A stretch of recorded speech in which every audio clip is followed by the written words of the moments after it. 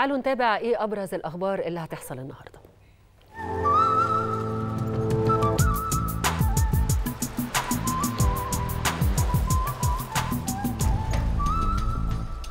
بالنسبة للأخبار اللي هتحصل النهاردة فالدكتور علي الغمراوي رئيس هيئة الدواء المصرية هيعقد مؤتمر صحفي بمقر الهيئة في المنصورية بيتناول آخر مستجدات ملف نقص وتوافر الأدوية خلال الفترة الماضية والخطة اللي بتعمل بيها هيئة الدواء لتوفير أبرز مجموعات الدواء. خلال المؤتمر هيقوم رئيس الهيئة بالكشف عن بدائل ومثائل الأدوية اللي شهدت نقص بالأسواق خلال الفترة الماضية وجهود الهيئة في توفيرها سواء عن طريق الشركات أو المخازن أو الصيدليات.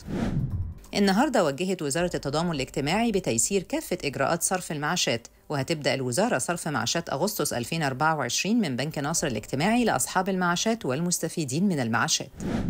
أيضا النهارده هتطلق الأكاديمية العربية للعلوم والتكنولوجيا والنقل البحري إحدى منظمات جامعة الدول العربية المتخصصة فعالية قمة الإبداع الإعلامي للشباب العربي. تحت رعاية كل من الدكتور مصطفى مدبولي رئيس مجلس الوزراء وأحمد أبو الغيط أمين عام جامعة الدول العربية. أبرز محاور الفعالية تدور حول الذكاء الاصطناعي وتحدياته في المجال الإعلامي وتأثير التكنولوجيا الحديثة على كتابة المحتوى الصحفي وتحديات التغطيات الإعلامية في الدول العربية والأمن الرقمي للمؤسسات الإعلامية والصحفية والصحة النفسية للإعلاميين والصحفيين ودور المراسل الصحفي التلفزيوني في تغطيات الحروب وفقا للقانون الدولي الإنساني والمواثيق الإعلامية الدولية.